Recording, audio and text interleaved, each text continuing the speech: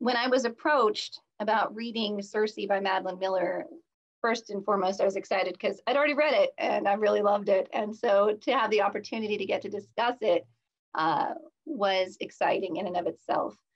Uh, I have historically actually covered the witch in a variety of different of the courses that I have taught. And then also with my student group on campus, um, former student group, Feminist on Campus United, uh, we hosted a viewing of Practical Magic a couple of years ago and uh, had some very interesting discussions that had revolved around those issues of the witch as well. So to be approached by uh, Jenny and asked to do this, I felt like was a, a, a, a boon. I was very excited.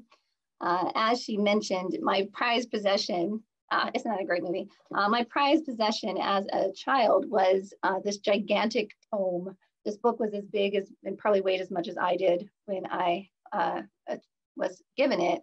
I was uh, one of the students in our elementary school who had volunteered to help clean out the library.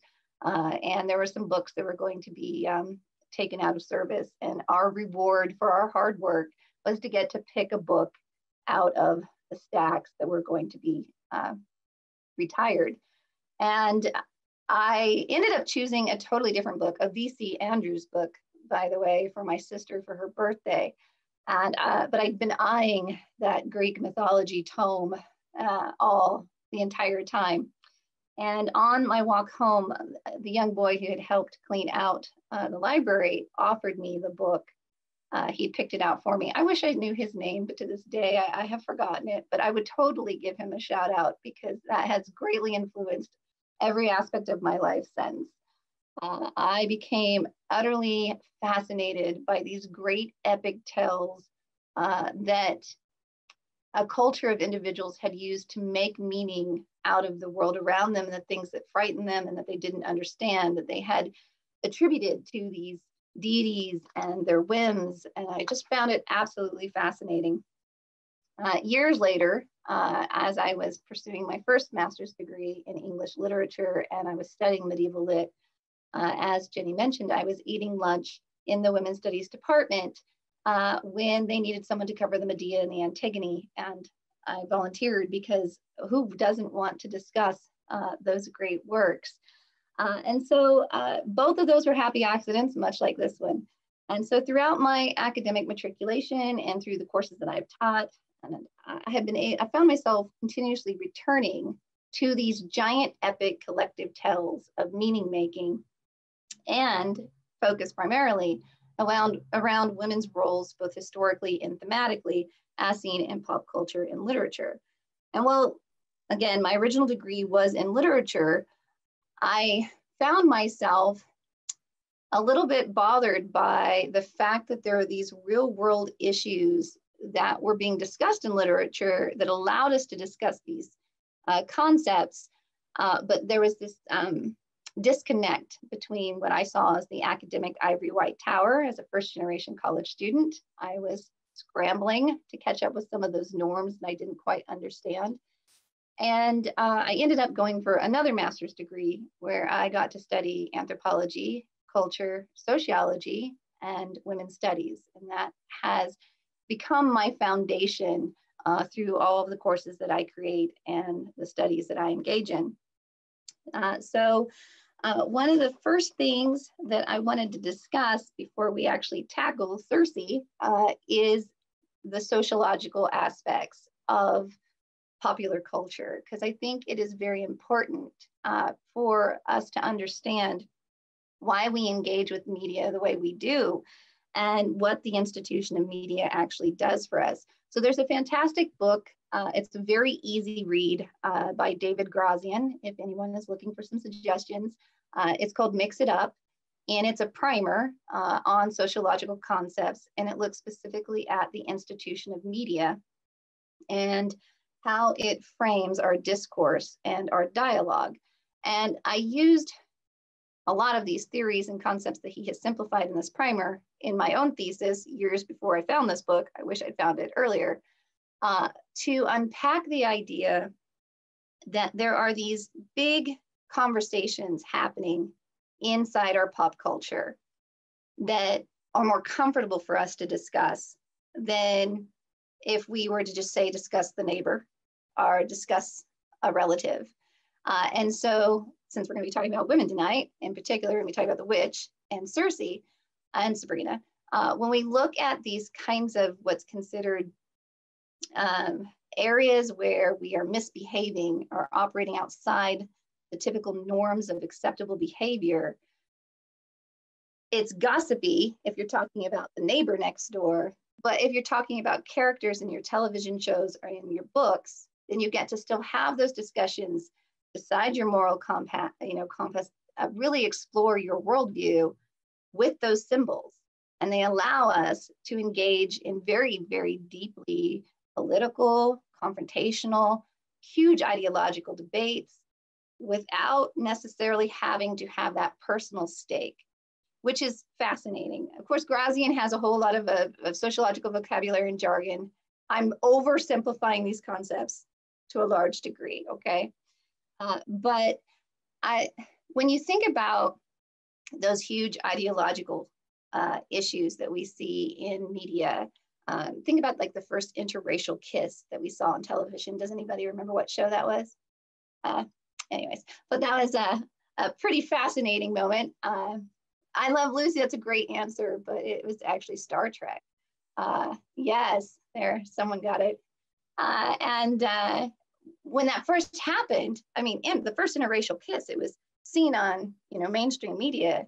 It became the discourse. It became a way to talk about those issues. Now, I would like to think that we don't blink twice at seeing those things in our media, uh, such as an interracial kiss. Uh, perhaps a, a, simpler example would be the cigarette. Uh, if you look at anytime you're watching like an old show and you see someone like smoking in the library or you know the hospital, that was always kind of you know telling. Uh, but we see these these symbols uh, and so now, because the cigarette has become the symbol of misbehavior, it's something that you do if you're deviant. I'm not saying this personally, this is not an attack on anyone who's a smoker by any means. I'm saying as a society, we have shifted our worldview on cigarette smoking. Look at which characters get to smoke in your current television shows.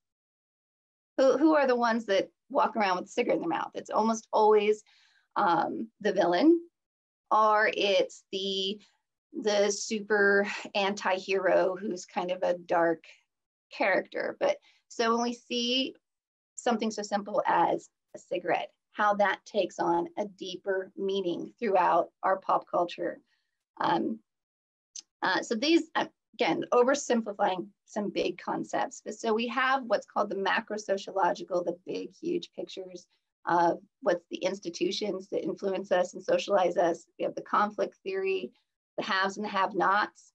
And then we have the micro, and that's the area that I tend to find myself focusing on is in those micro, those symbols, the semiotics, how people are interpreting that character, how people are interpreting that specific storyline. What are the discussions revolving around that?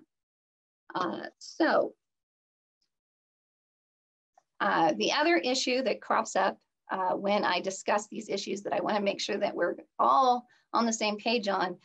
As when we talk about high culture and low culture, there is a tendency to do so in a way that that elevates one over the other. The issue is that it's all popular culture and it's all collective activity. So whether it's a Wagnerian, you know, opera or whether it's um, monster truck rallies, they're still shared collective activity experiences. And as sociologists, we recognize that we make meaning from those. Uh, and so that's kind of a little bit of background there that moves us into uh, the meaning making that we're going to be looking at when we analyze these texts. The other key concept that I feel that I must address is the concept of patriarchy. Uh, and so before we start to unpack the symbol of the witch as she's seen in these different media texts, it's important to recognize that what the witch is operating against or operating within is the constraints of patriarchy. And what exactly do I mean when I say patriarchy?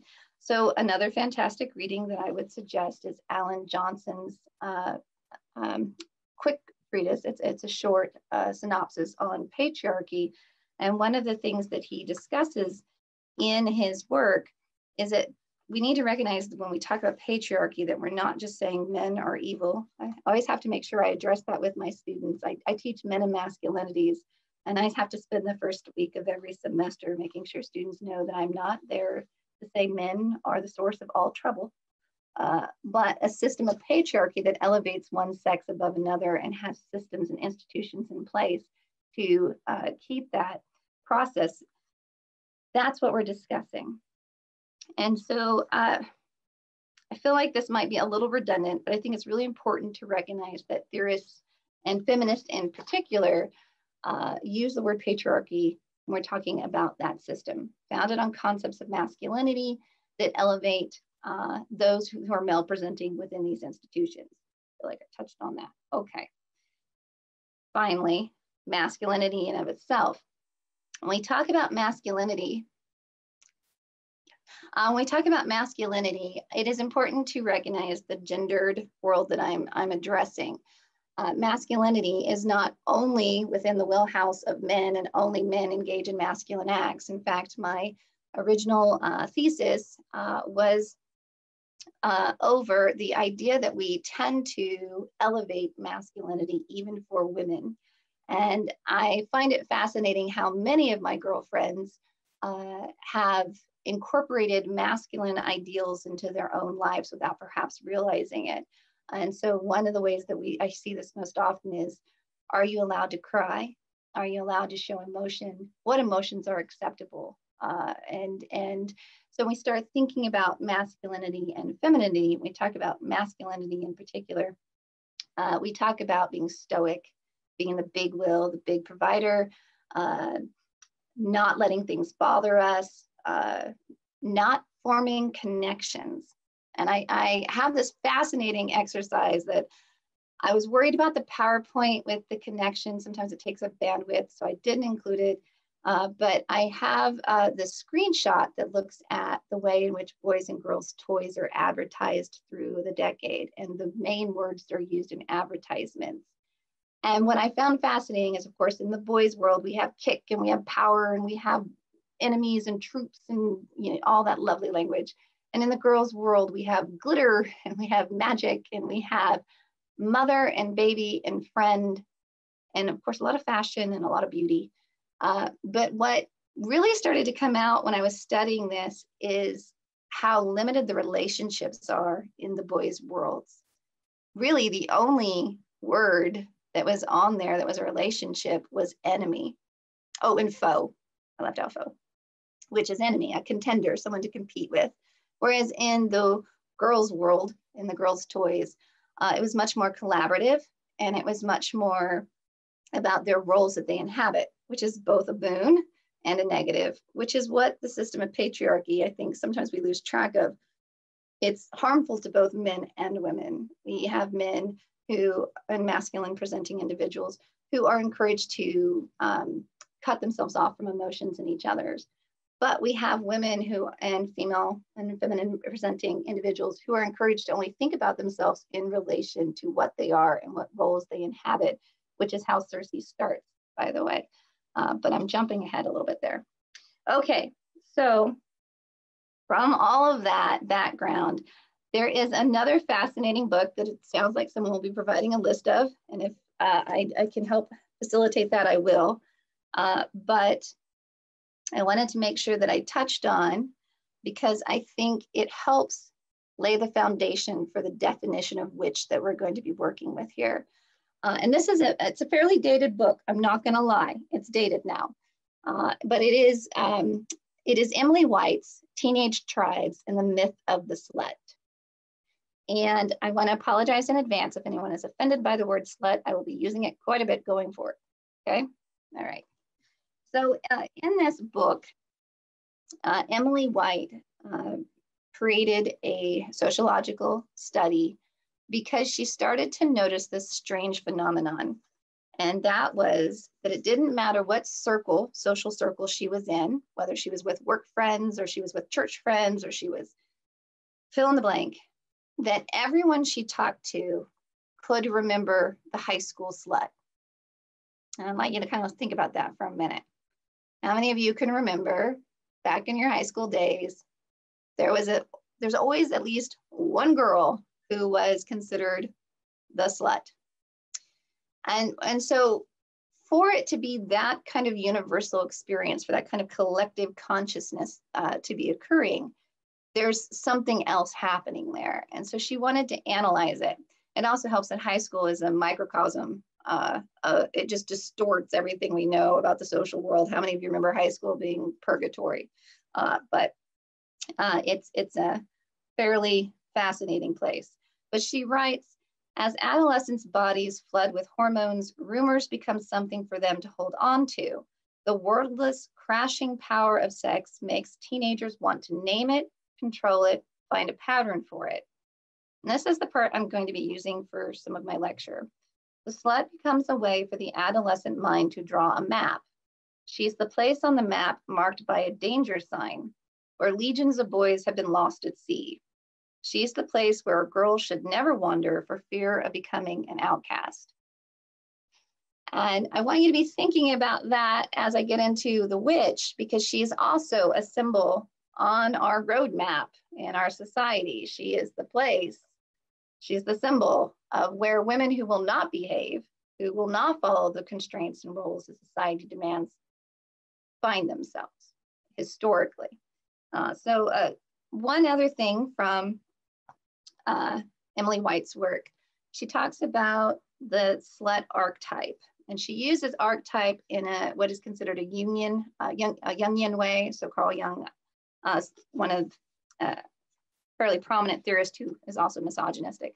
Uh, but so she references uh, let's see where it is. The slut archetype overpowered the self like a dream or a migraine. The girl in the rumors, the girl people saw when they looked at the slut, was part of an unconscious order that existed beyond my interview subjects and beyond their own histories. Becoming the slut, these girls saw reality edged out by a myth that reached back into the past and belonged not only to high school, but to what Jung would call humankind. As Jung defined the term, an archetype is a category of the unconscious. We fall into these categories and their associated images involuntarily. We just start telling stories or dreaming dreams with no idea where they're coming from or why we need them so desperately. Jung used the idea of the archetype to explain the way humankind returns and returns to the same mythic structures. And since we're going to be talking about myth today, I really thought oh, I should bring this in for our discussion. Now, I would like to point out that, again, very sexist, very misogynistic, and written in the 1930s and 1940s. So there's a lot of work to be done around uh, the archetypes of the collective unconscious. But these idea that there's these universal images that have existed and that still exist uh, will influence some of our, our discussion today. So this is this is the part that I don't like about Zoom. I would love to be actually interacting with the audience right here, and it's kind of hard to, to, to do. So I'm going to barrel on through. I hope you have great questions at the end, though. So this brings us uh, to the witch itself. And I wanted to make sure that we have a good working definition of the witch. Uh, so where did the term come from? Well, if we look at the etymology, uh, our words history, there's the Old English Wicca, which means sorcerer, depending on your definition. This gets kind of in some linguistic areas that I don't want to necessarily engage in. I'm not going to spend any time on witchcraft, okay? Uh, but uh, when we look at that, we look beyond the Indo-European and the Germanic origins.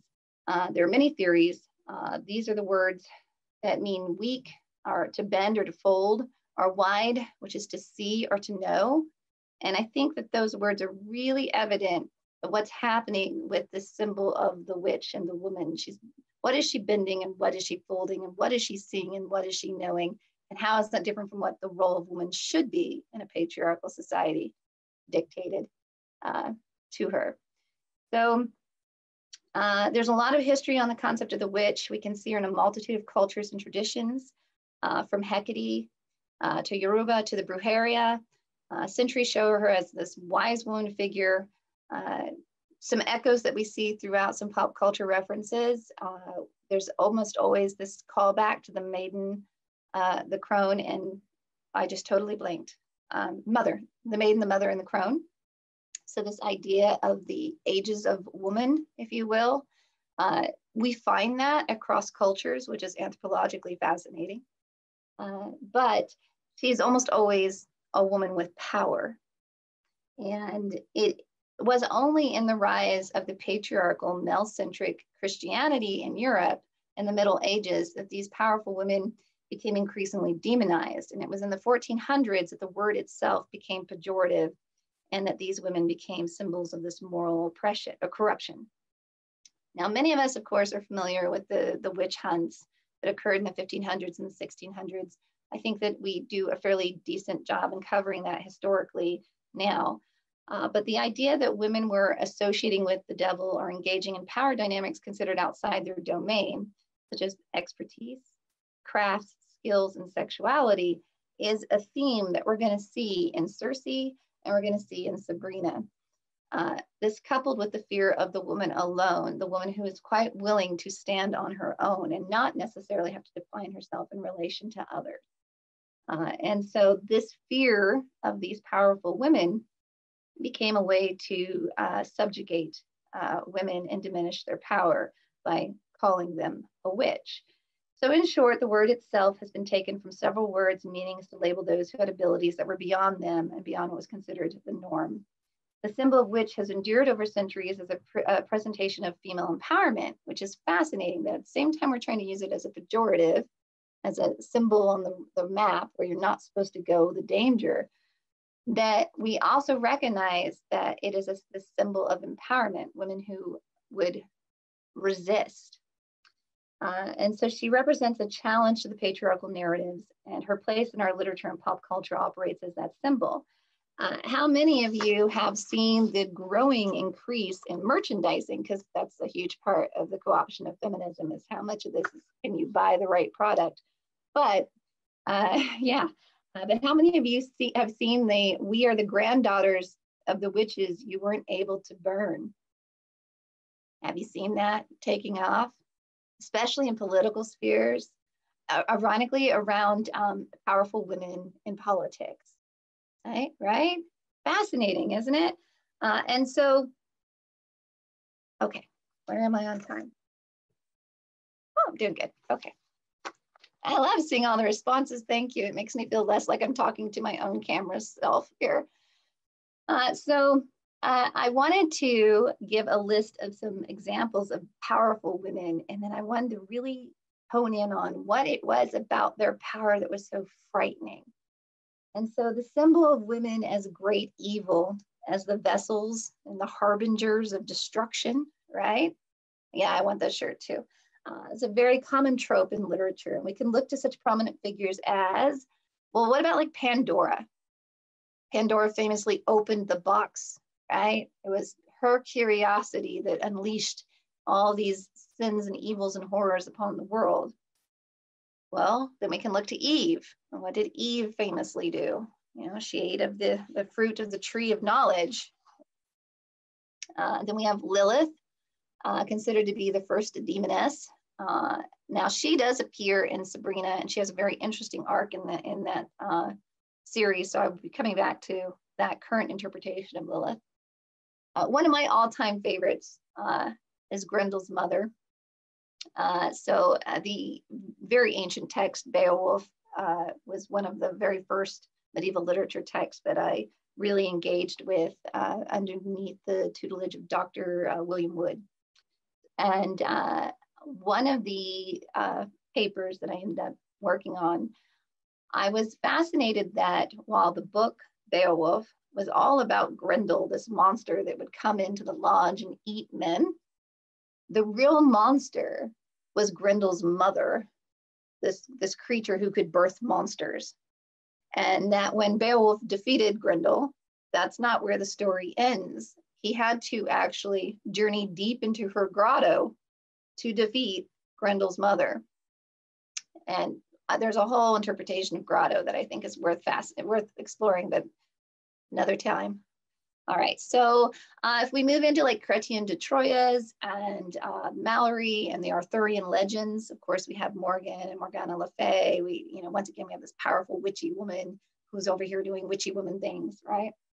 And then, of course, because this is what we'll be focusing on today, in Greek women and the Greek tales, we'll discuss a little bit the sirens, uh, Scylla, Medea, uh, and, of, and of course, star of our show tonight, Circe. Okay, so 30 minutes of background, and then I actually get into what I'm here to talk about. Uh, I want to give a little bit of a disclaimer.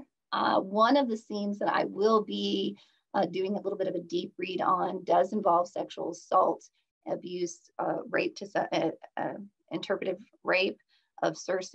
And if that is problematic or difficult for you, please feel free to mute me, step away, uh, come back, see when I'm past that point. Uh, I usually include that kind of disclaimer early on in the literature about the event that I'm hosting so that you can make those decisions in advance. I was not going to actually cover that scene, and then I just decided it was just too important to leave out. So, just to give a little bit of a background there. All right. So, Circe's Tale. I want to begin with, this is not the first time that we have seen an author come in and give voice uh, to a woman whose agency was lost to history. This is becoming increasingly a very uh, feminist writer's uh, um, conceit, if you will. I love it. Uh, in fact, one of the books listed earlier on the screen is one that I was going to reference. Margaret Atwood wrote the uh, Penelopiad or Penelopiad, depending on who you ask, as a, a take on what Penelope, Odysseus's wife's experiences were, which I think is awesome considering that is included in Madeline Miller's text, right? Okay, so one key thing when we talk about Circe, it is a great book, uh, is to remember what I was saying about the patriarchy. And the patriarchal system actually influences even our language and our linguistic choices. The easiest way to get this across is how many of you were a tomboy? How many of you know what a tomboy is, right? A tomboy, of course, is a young girl who has engaged in what is considered masculine or boyish behavior. And it is socially acceptable to a degree, right? And we don't have time to get into what those degrees are, but I think we all have a general understanding of what I'm talking about. So if we have a tomboy, why don't we have a Jane girl? What would even be a Jane girl? Well, that would be a young boy who engages in feminine or traditionally girlish behavior. We don't even have the language for that that's not pejorative or insulting. And that's a whole area that we don't, I won't get into. Another way, another quick way of looking at this is if I say, stop mothering me, all you do is mothering, mother me. We, we, we know what I'm talking about. We have the language built into our culture to recognize that mothering, over mothering would be all of those feminine traits to the extreme. You're over nurturing, you're overprotective, you're in my business. I'm the mother of five. Okay, so let me tell you, I've overmothered. Okay, so I get it. So why don't we have language like that for stop? It's hard to even say stop fathering me. Stop fathering me. Right? Because we're not even really sure as a culture what we would necessarily mean by that we start to unpack it, we can see that we might mean stop providing for me or stop judging me maybe. Stop i don't know okay? What's the role of father in this culture? We clearly know what mother is. We have language for it right there. We have this disconnect for father. So again i am shortening things. Okay, controlling is an excellent one. I am shortening this a lot to say that uh, even our language is androcentric, which is male support, superior in a patriarchal society. So something really fascinating happened in the last uh, three years. Uh, Emily, and I'm so sorry, I have, I have so many Emilys uh, in this. Okay, Emily Wilson. Yes. Okay, uh, Emily Wilson is the first female to translate the Odyssey.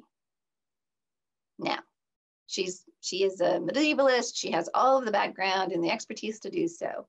And in the process of her uh, translation, she started to notice that there were parts that her colleagues in the past who have translated had used their own worldview, which is very patriarchal and sometimes misogynistic, to actually change the interpretation of a word.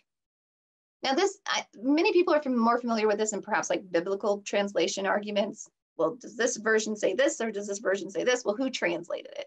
When you get deep into like uh, literature um, and you you really start really work, people say, well, are you working with this text or are you working with that text? You know, and it matters who translated it. And so that's a whole area. But to have a female who came in and translated it. And some of the key areas that she was starting to pull out and notice what had changed meaning. So there's one in particular. Uh, she looks at the scene where Telemachus, uh, son of Odysseus, is uh, ordered by his father to murder the women who slept with the suitors of his mother.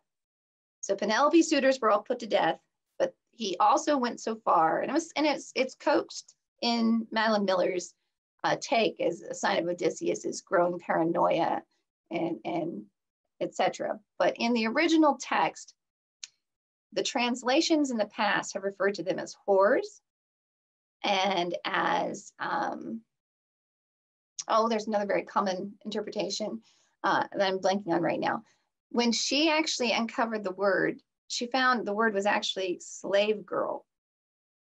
So, how does that change the entire interpretation of that scene that Telemachus was ordered not to to murder particularly these whores, but these slave girls? And how does that change the meaning, if even a little? Or and and does that even matter?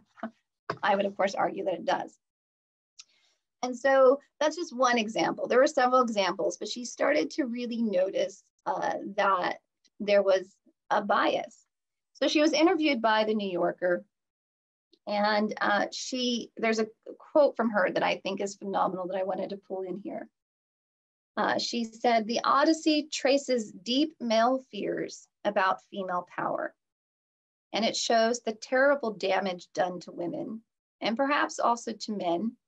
By the androcentric social structures that keep us silent and constrained. And so I was letting that ruminate as I was doing my reading, my second read throughs to be prepared for the discussion tonight. And I found myself more and more curious about Madeline Miller's assertions about who and what Circe is. And in the opening paragraph of the text, we have her being situated within the domains and constraints of womanly roles. She's a nymph, she's the daughter of nymphs. She's the, their mothers, their aunts, their lesser goddesses. And she says, tied to a modest power that does not ensure our eternities. So of course, all the masculine presenting and male gods and lesser gods, they're going to go on for eternity. People are going to remember them, but they're not going to remember us. And she also makes a point to make sure to let us know that nymph also means bride.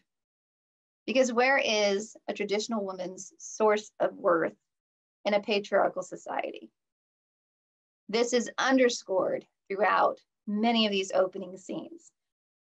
Uh, when she speaks of her father in relation to her mother, uh, she writes, um, he believed the world's natural order was to please him.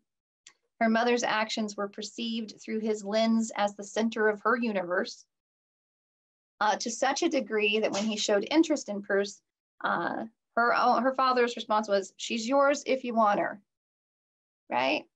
These are nymphs, these are lesser goddesses, these are deities, but they're still bound within these ideas of patriarchal society. Their worth is in who they can marry and what children they can produce. Going past that, there's a very interesting uh, symbol that occurs. Every time Perse gives birth, she is given a sign of wealth or achievement, and it's a string of amber beads. And she's extremely proud of those amber beads because they are a symbol of her worth. In fact, she is absolutely horrified and angered beyond belief when she's told she can no longer have children because they have too much power, which is fascinating, right? But those amber beads are around her neck like a yoke of an ox. So again, women lesser than, women animalistic, women with the symbol of being owned. It's all very patriarchal. Um, women, of course, are there to be consumed. And this goes on in so many descriptions. Um, line 106, line 118, they are, um, they're trade worthy. Uh, the lushness of her figure is as if roasting on a spit. She's literally there as if she's to be um, consumed or eaten. And when Circe herself is born, her mother is disappointed, right? Because the symbol of, of worth would be a son. She wrinkles her nose and she says, a girl. And I think that that's really, really important to unpack. Uh, another, am I doing on time? Okay. Another key part of this, uh, lines 324 to 335, uh, that ties to this kind of feminist reading. She writes, all of my life had been murk and depths, but I was not part of that dark water. I was a creature within it. So I'm going to take this back to what I was talking about with sociology and the macro and the micro and take it back to that concept of patriarchy because quite often we find ourselves inside the system, the system of patriarchy. And this is where that key feminist concept of the personal as political comes from that what's happening to us is bigger than just us. And then that links back to what I was saying about when we study media and we make meaning out of these things we're allowed to make big connections and be able to have these kinds of discussions about these things through these texts uh, because we are a part of those systems. So I wanted to make sure to pull that line out. All right. Um, so the tale, of course, goes on. Uh, Circe is a little bit fearful of her own immortality. Uh, she's she doesn't quite understand her role. She makes many references to how the other nymphs and um, her mother in particular perform for her father and the other men. Uh, and then, of course, what happens in chapter four? Uh, Circe meets a guy, right? She she meets a man. She she decides she's in love, and she has to have him for herself. So the first thing that Circe does here, which is fascinating, is she uses her wiles to gather information. She fixes herself up. She flatters her uncles to gain knowledge. She engages in what's considered those feminine wiles, which is very witchy thing to do by definition, right? Uh, and then when she doesn't get the answers from those uncles, uh, she turns to her eldest grandmother figure, which is the crone, of course, uh, and asks her to describe her power. And of course, there's language there about the womb and the loom, which is all indicative of these very feminine worlds. Uh, and so in chapter five, the, the magic, the power that she gains, the knowledge that she earns is the knowledge of flowers, which is, of course, considered a very womanly domain again. And the moment that she comes into her own and Circe's story uh, becomes what we're more familiar with from the Odyssey is the moment that she literally challenges patriarchy. She looks her father dead in the eye and she says, You are wrong. And of course, the entire court's gasp and they're horrified. You can't tell him he's wrong. That, that's not done. And of course, this gets her exiled. Uh, so there's quite a bit more to unpack with that. Uh, but it is interesting that the first person that she truly attacks with her magic would be her uh, rival for the boy's affection, the man's affections, uh, Scylla. And through transformation, she transforms Scylla into uh, this horrific figure that she then goes throughout the entire novel feeling personally accountable for. She created that monster and she is the one that must fix it by the end of the novel, of course, which is interesting. Uh, but so in her exile, uh, her house, um, a monument uh, to her, her new way of living. There's a very interesting analysis that I read about this being the first time she braids her hair. And this comes out of the Emily Wilson's, by the way, interpretation of the text because there's something very uh, telling about a braided woman's hair for this era and what that means. Uh, but the reason that Madeline Miller writes for her to braid her hair is so that it stays out of the trees and the bushes while she's running wild outside of the constraints of patriarchy. She has to braid her hair back so it doesn't get caught. Uh, but magic has given her strength. She's no longer a girl.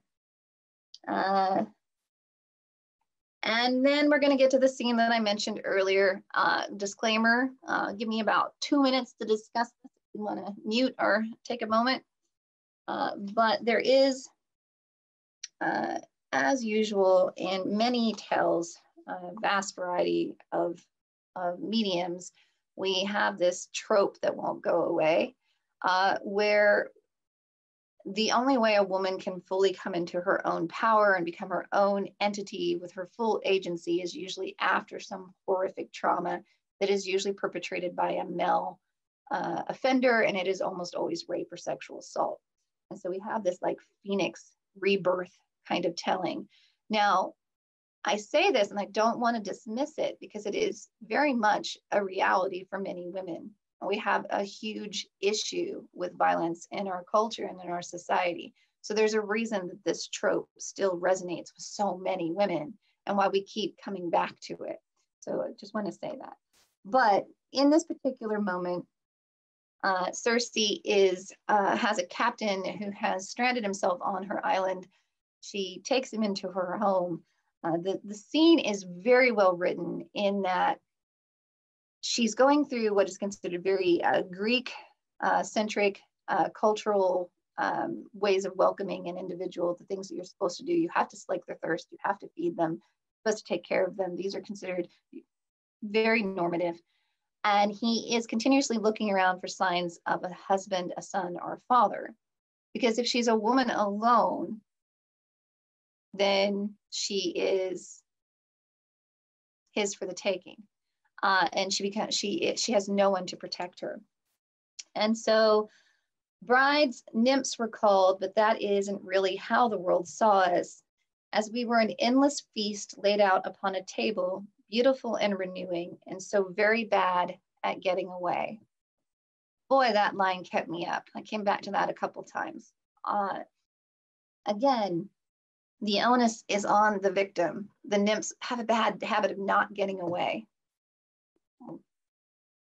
kind of hard to get away, right? And in this particular culture. And so, more importantly for our discussions today, is that in that moment where she's alone and she's vulnerable and she's attacked, she has her voice stolen.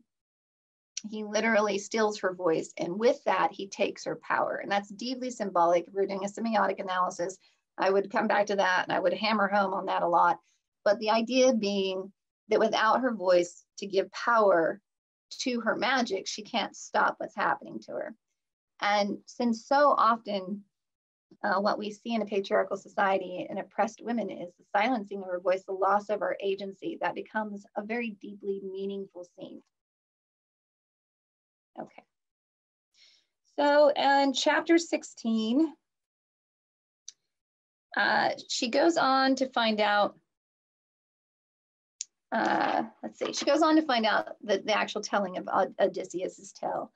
And there's a, there's a quote that I wanted to make sure I touched on. Humbling women seems to me a chief pastime of poets, as if there can be no story where we don't crawl and weep.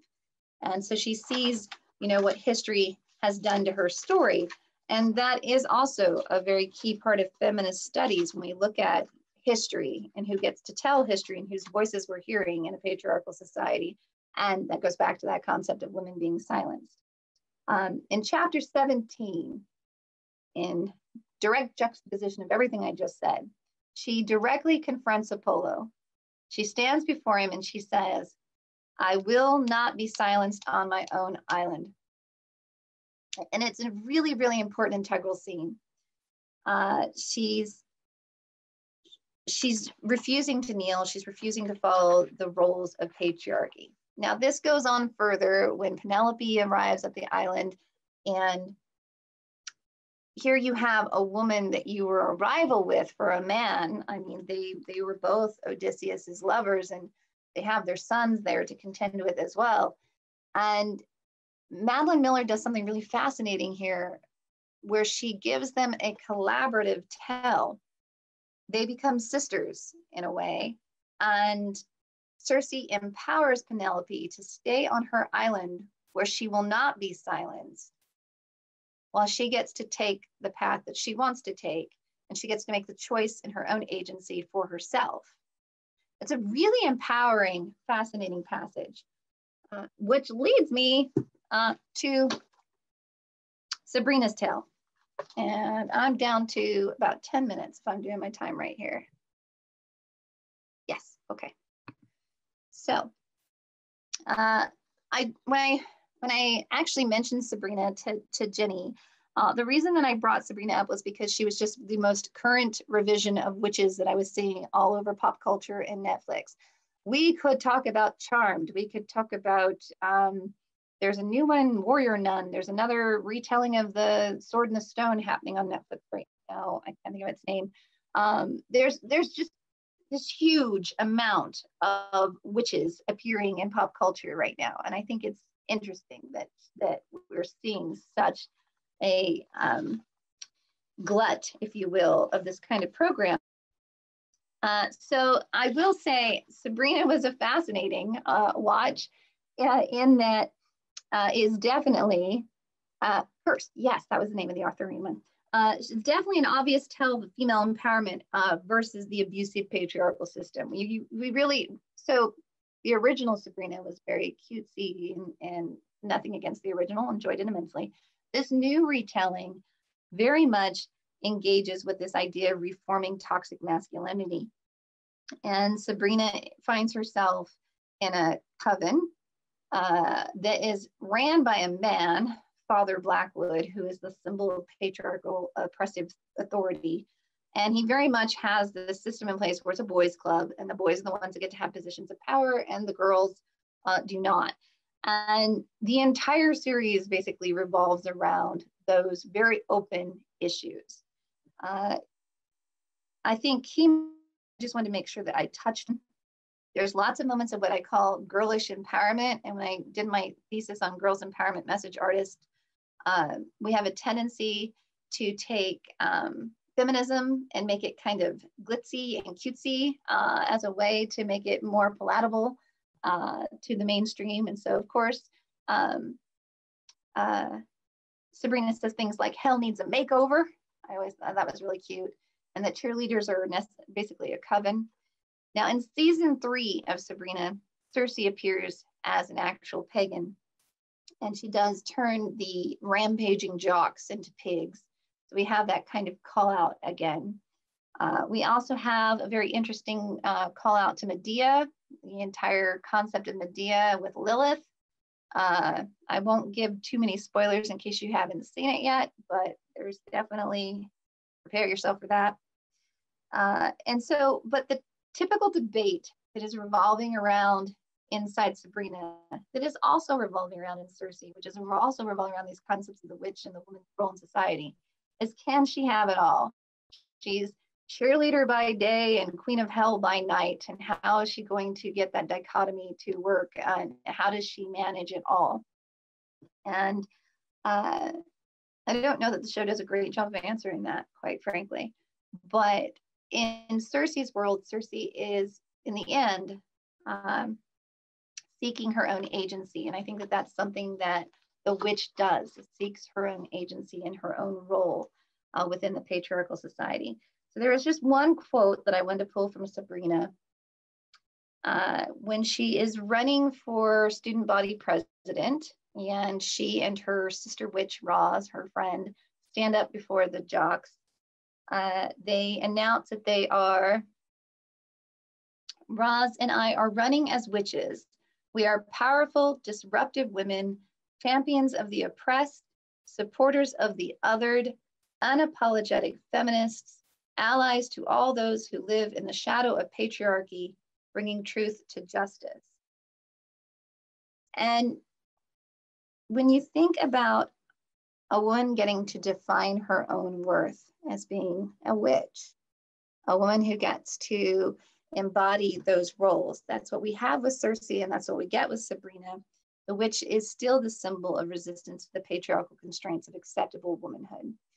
And I had a whole nother piece on the cult of femininity, but I'm going to call it good there because I can feel my, my throat starting to get a little scratchy. And I would love to open this up for some questions and discussion.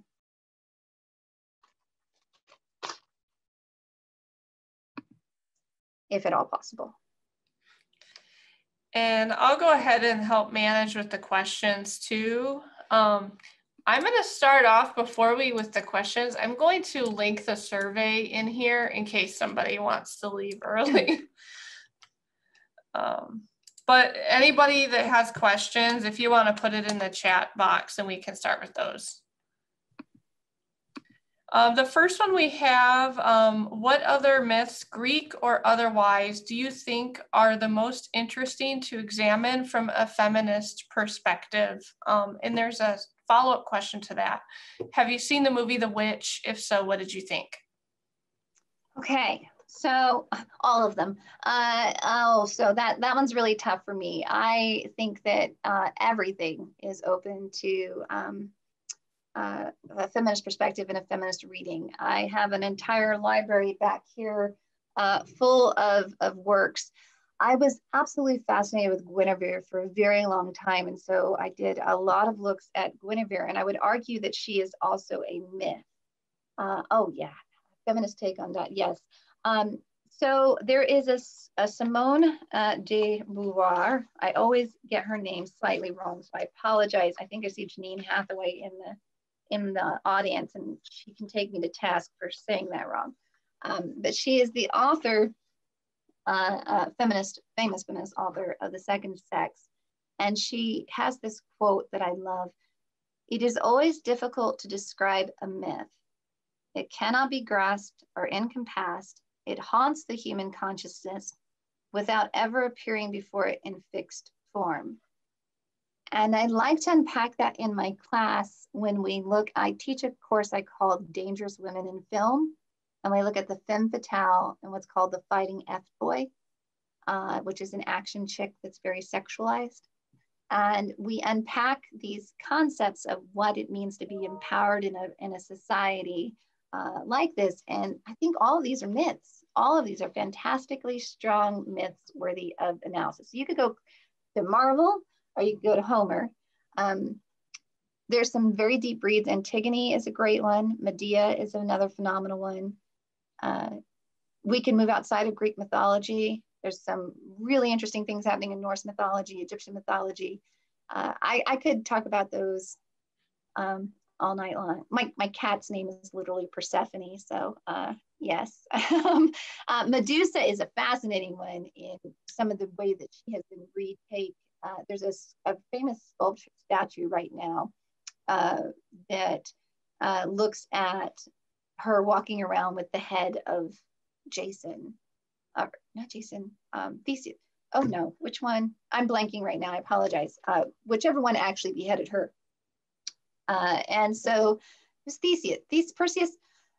I wasn't prepared for that lecture. It was Perseus, I'm pretty sure. Uh, but um, but so she, uh, there's a statue that shows her basically not being a victim, because Medusa's original tale, of course, is that she evoked that attraction again, those nymphs who are so bad at getting away, and it was her her sexual assault that resulted in her being punished. So Helen of Troy is another fascinating one, yes.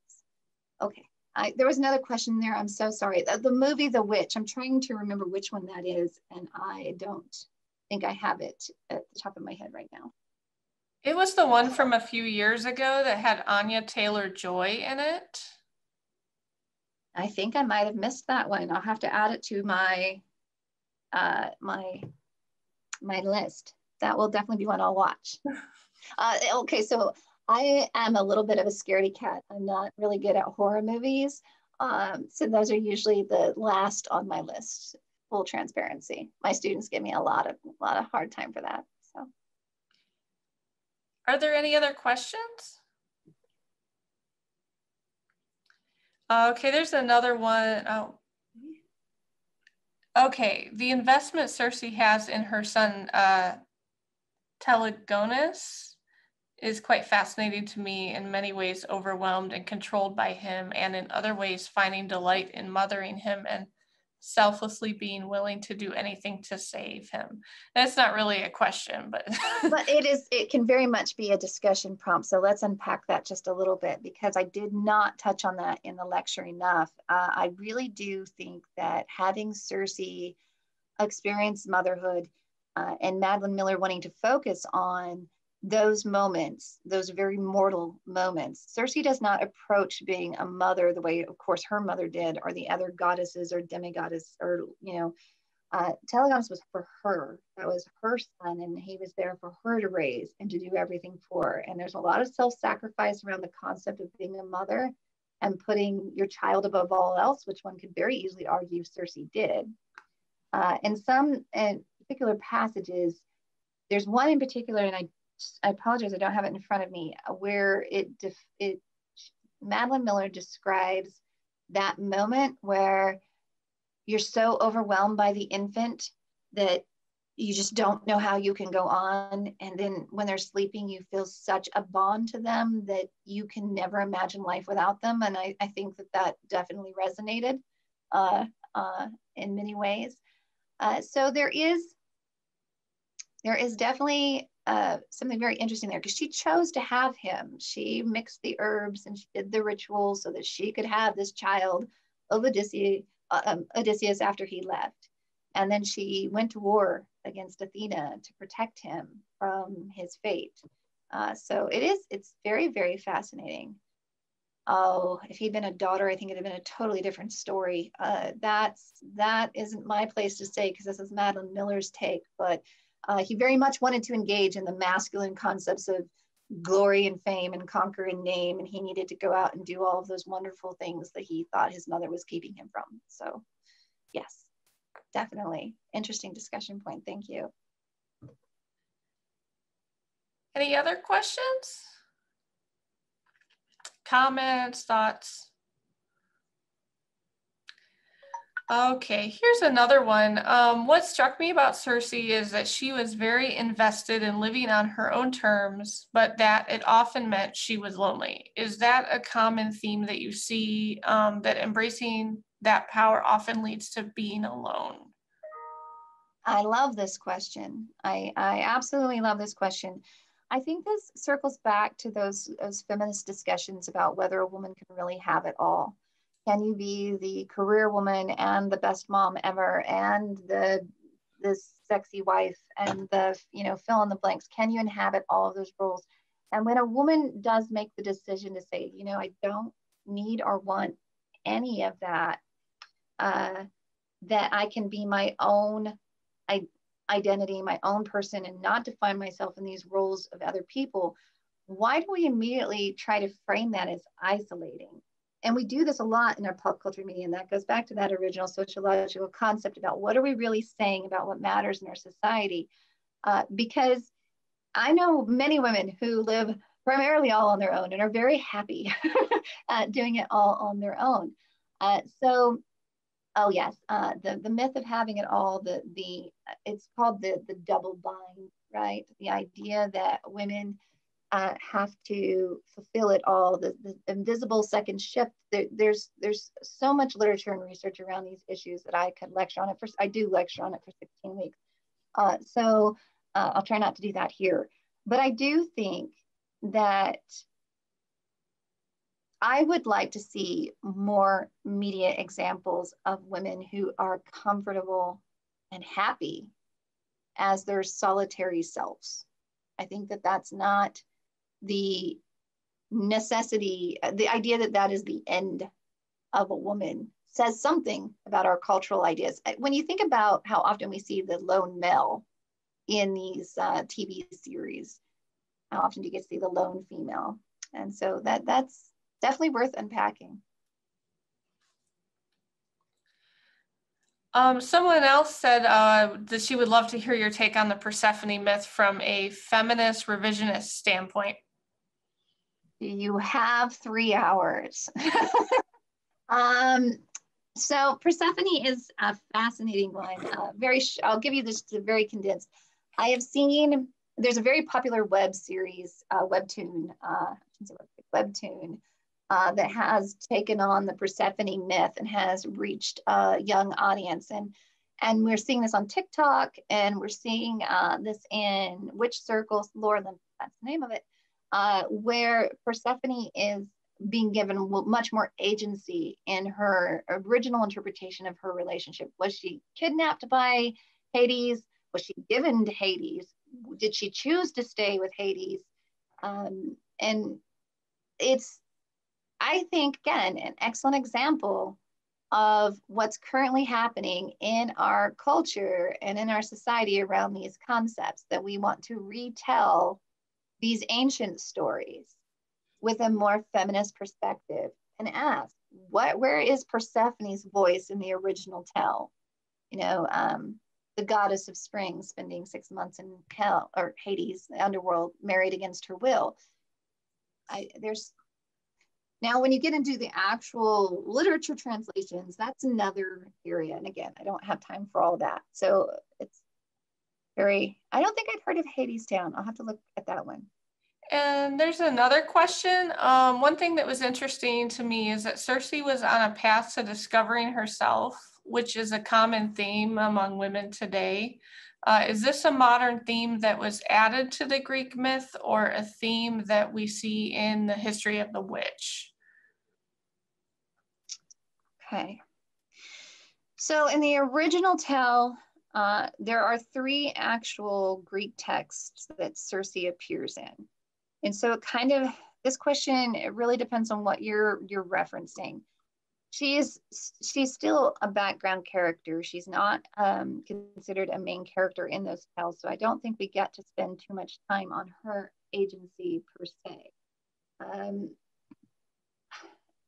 she's I think this idea of Percy, or I'm sorry, Circe on the path of discovering herself is what Madeline Miller really, really wanted to to pull in and and, and analyze.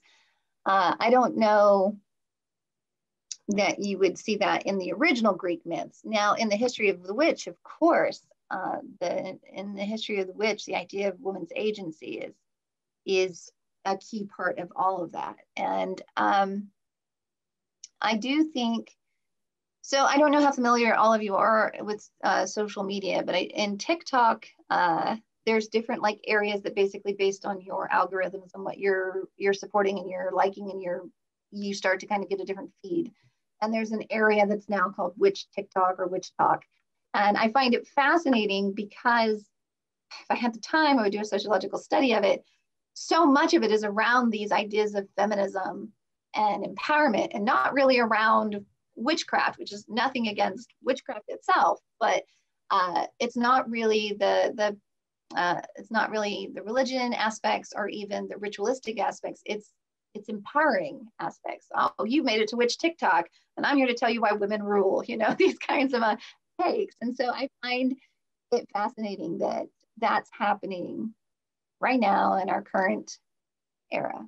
So I, I, hope that answered your question. I, I, I only see your questions for a brief moment and then they go away and then I forget if I actually answered Well, she did say that um, she was referring to Madeline's take on the um, Circe finding herself. Um, and someone else mentioned that Miller said that she wanted to understand why Circe turned men into pigs. Mm-hmm. I, I did get to watch one interview with Madeline Miller uh, before I did this presentation. But And I did look at the Q&As at the end that she provided.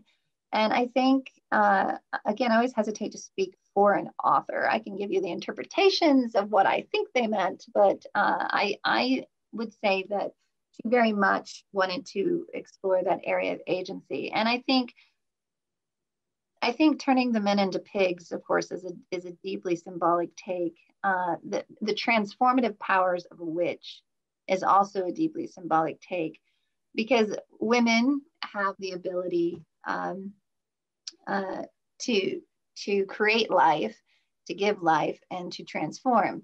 Uh, and so there's this this long-standing historical take of a woman's power and how it's tied to those ideas of transformation that I think is being unpacked in a lot of different areas.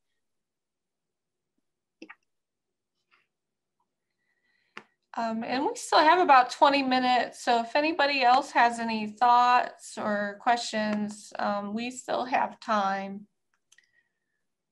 I feel like I did a really, really quick read on Sabrina. So if anybody wants some more con more from Sabrina, I, I have pages and pages from that one, but um, I, so yeah, I ran into the problem that when I agreed to this, Jenny, it was like last year, midsummer, and I was like, oh yeah, I'll totally cover that. And then when it came around now, I was like, oh no, it had a series finale. I have to make sure I understand uh, the the coverage of, of that. So I binged an entire season in the last. We didn't have a quick question. Um, what are the three texts that you referenced which uh, feature Circe that you uh, mentioned maybe earlier? Give me one quick second. I'll put them in the, the text, I think, or in the chat. I think that would be easiest. All right. Um, maybe, maybe not. I'll have to remember exactly which ones. We can also provide an annotated um, list of the readings that Jodie mentions. I was gonna say, and and if anyone wants to get it from from Jenny, that's fine. Or if you want to shoot me an email, uh, granted, I'm teaching a pre-session next week, so I might be a little frantic right now, but um, I will I will try to get back to you.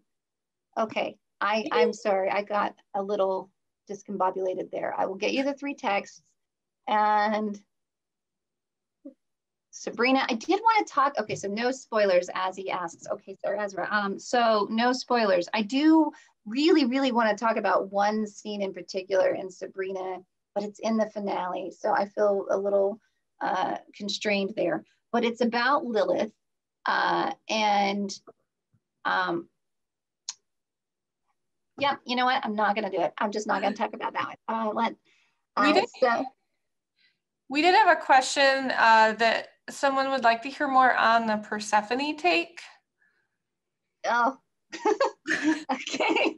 Uh, there's so many coming through now. In Egyptian mythology. Um, all right, let me, let me separate these into three distinct questions here. Let's start with the Persephone and Isis. Um, so I am less familiar with Egyptian mythology. Uh, maybe if I'd gotten that book as a child, that would have been the one that I took off on, but it was Greek mythology that I followed to the end of days here. Uh, but I was, of course, interested in mythology in general. So I did look into some of that mythology, but I would not in any way call myself prepared to have that discussion.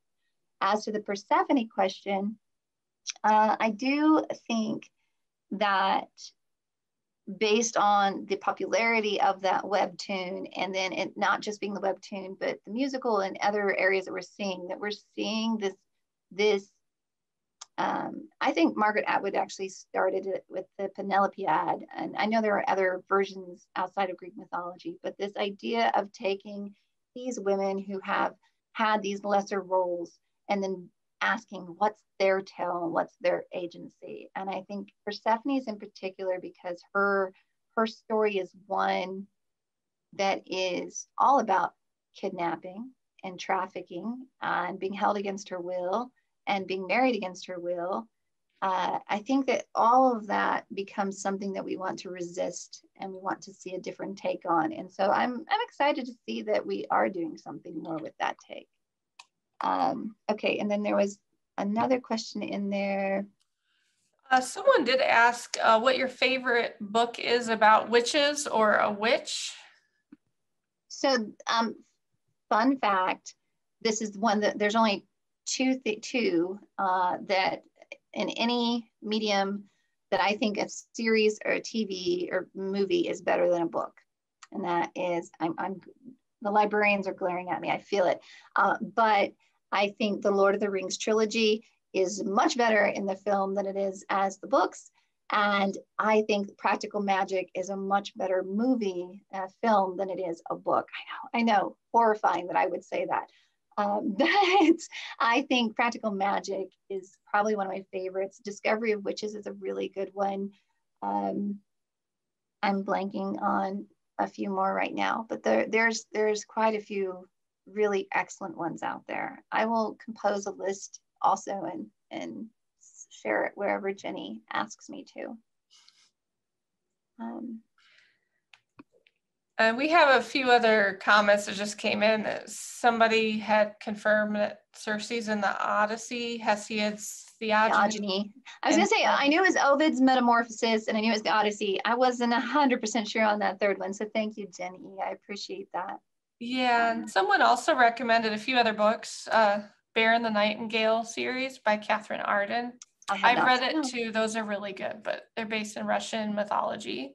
Oh, that sounds fascinating. I will have to check those out. Uh, okay, I see, Maria. I do think that Chilling Adventures of is pretty shallow feminism. So, I uh, my original thesis was on feminism in and of itself and looking at what is considered post-feminism world, or which I highly de debate that concept in and of itself. Uh, but I've seen this co-option of femininity, uh, particularly in pop culture, uh, where we see feminism being co-opted as what I call the um, uh, the promotion of toxic masculinity. So basically, doing everything that men has done because that's what makes me a feminist, uh, and so that's really problematic. Uh, the commodification of feminism, which is when it's like you can buy certain products and they're going to make you more feminist than others. Uh, there's there's just different areas that I studied and coded for in music lyrics that influenced how I perceive feminism and the authentic choice of feminism. Uh, so I will say I feel like the uh, the writers of Sabrina started in a very good place. Uh, really was trying to challenge some of those patriarchal norms and this concepts of toxic masculinity. There, I would on a personal level outside of lecture, I would say that they kind of lost control of that narrative a little bit and uh, it, it could have been better. How about that? Oh, yes. Okay, so I do use Susan Douglas's argument, Enlightened Sexism, in my 287 issues course at the end. Uh, and yes, that was one work that did influence my take on uh, feminism, uh, indeed. Um, I haven't seen Discovery of Witches as the TV series yet. That is on my to watch list, but I had to binge Sabrina for you all. So um, Discovery of Witches is, is one. I actually, so one of my other areas of study have been romance novels. And uh, I had to watch Bridgerton uh, because it's what's currently in the most pop cultural discussion box uh, and so now I find myself veering back into my studies on romance uh, novels, and I, I don't have time for that. So, but yes. We, yeah, we did have a few comments. Um, once uh, we had somebody that said they finished The Witches of Ash and Ruin, which draws on Irish mythology. Okay. So another uh, recommendation. And then we had another one that said um, that she wanted to add that Isis was the goddess of magic and stole power from Ra, um, which she adds to her own power. So that would be another interesting myth to look at regarding the witch. Yeah, that I I'm gonna have to look into that one as well. Uh, the Arthurian uh, take, Mist of Avalon, is is really good. Of course, Marion Zimmer Bradley's recent, oh, someone's already mentioned that, uh, has had some problematic um, pressed about some of her behavior. Uh, and this gets into those debates about genetic criticism when you, um, you know, J.K. Rowling is another uh, very prominent example. Can you separate a work from their authors? I do find it fascinating, not to go on a complete feminist rant here, but we tend to have these debates around women authors a lot more than we do male authors. So we do have a really interesting question. Um, can someone write a feminist text if they're not a feminist? It's a fascinating question. It is. It's an absolutely fast.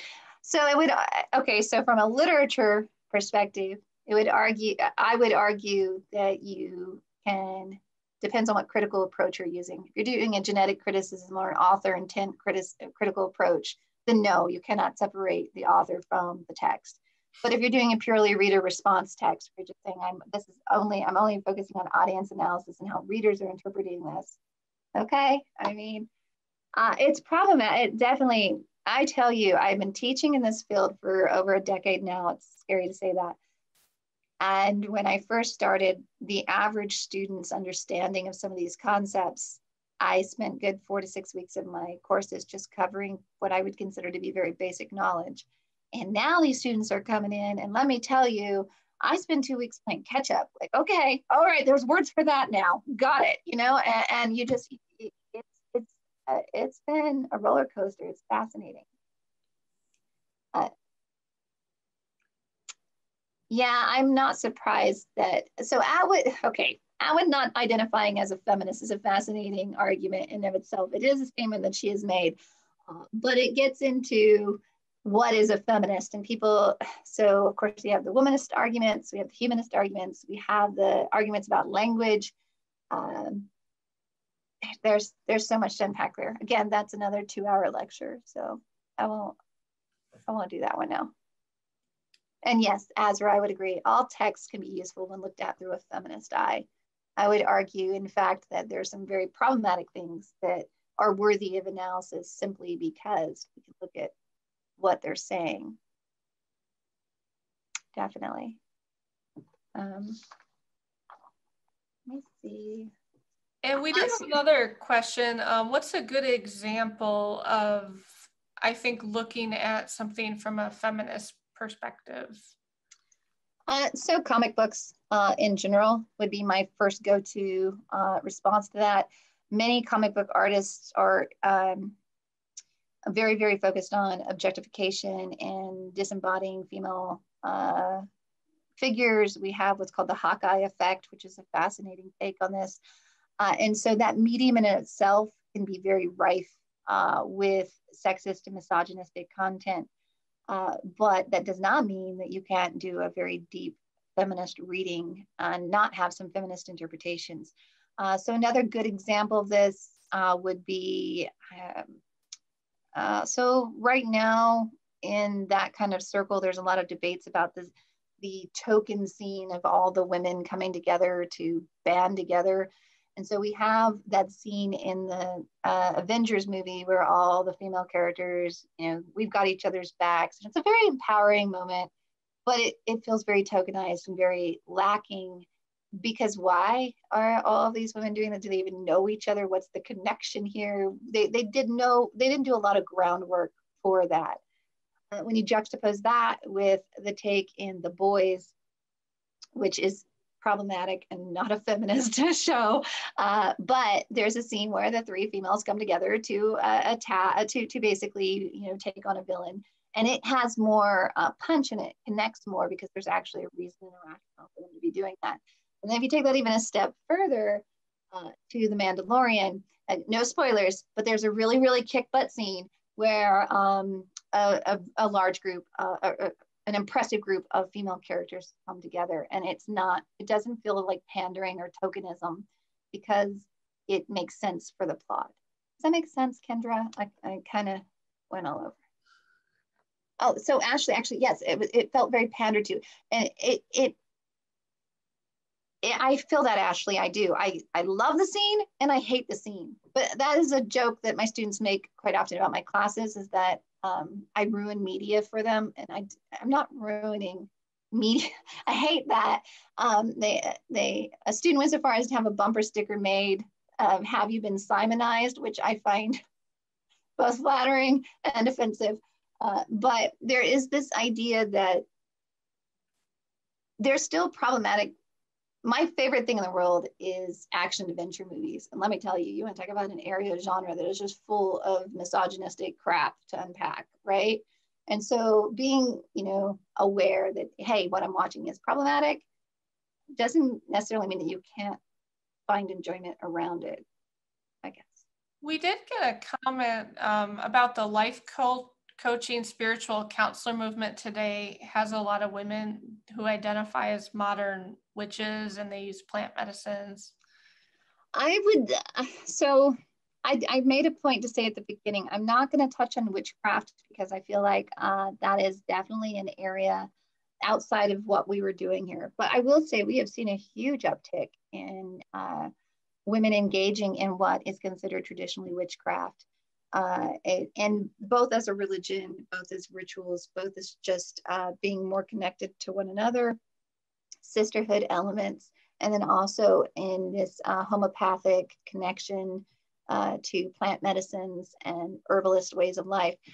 It, it's fascinating to me. You, all, excuse me, you also see this in um, the medical field, uh, doulas in particular, midwives. Uh, there is a, a, fairly large percentage that do identify with some of those concepts of witchcraft. I won't, I don't want to speak out of turn for them because again, that depends on how they're using the word, right? Uh, but um, the when I earlier in my speech, when I referenced the witch being a symbol of a woman who has skill sets and crafts and knowledge that is considered uh, too great. And so then by that definition, she's an outcast. One key area that we saw that historically is, of course, in the medical field. If a woman engaged in herbalism and engaged in, uh, you know, the very first uh, group of individuals devoted to birthing were, of course, women and the doulas and midwives. And it wasn't until we turned it into a science and decided that we needed to make money off of it that it became uh, much more. And, there's a very frightening history uh, around all of that uh, that made it become more of a medical field and become the onus of men and male dominated in a patriarchal society. And we've had a lot of historical issues with birthing around those issues. So, yes, excellent example. Okay, we have about two minutes left. Um, are there any final questions? Um, and I'm going to go ahead and post the link to that survey in the chat one more time um, in case anybody hasn't had a chance to do that. Um, I'll give you another minute or so if you have any last minute questions. Okay. Well, I wanted to end on this note. Um, I think it's very, very important that at the end of Circe, uh, when she's leaving Penelope and she's uh, getting ready to basically embrace her mortality, uh, and she, Penelope basically says, Can I stay on the island? And she says, And are you going to tell me how goes your witchery? And she smiled her inward smile. You were right. It is mostly will, will and work and I think that that's really important that the, the magic of witchcraft, the witchery, was handed off to a mortal woman, and it was simply knowledge and the power and agency to stand by herself. So I thought that that was kind of a telling note to end on, and I think I did that at the end of my wrap up, but I can't remember now. Rat Queens is great. Yeah. Uh, I, I, I like Marvel, um, a whole lot of Marvel. Um, definitely different storylines in there.